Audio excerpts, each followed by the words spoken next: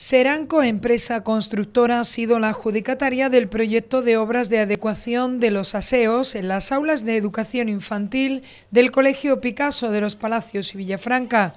El importe de adjudicación asciende a 185.387 euros. La empresa dispone de un mes para iniciar los trabajos que tendrán una duración inicial de cuatro meses. El alcalde palaciego Juan Manuel Valle ha mostrado su alegría por los niños y niñas, por sus padres, por el profesorado del centro y por la AMPA, y ha recordado además que han tenido que moverse, insistir mucho y esperar para poder decir que la lucha ha merecido la pena. El pasado 2 de junio, recordemos, el delegado municipal de Educación, Jesús Condán, trasladaba su inquietud al no haber recibido ninguna comunicación respecto al comienzo de estas obras. Así, de hecho, se lo hizo saber a la delegada territorial de Educación de la Junta de Andalucía.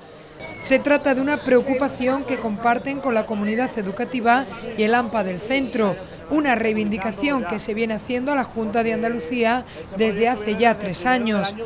Por este motivo, además, en junio de 2019, una importante representación de madres, padres y familiares de alumnos del centro, acompañados del alcalde palaciego, acudieron a la sede de la propia Delegación Territorial de Educación en Sevilla.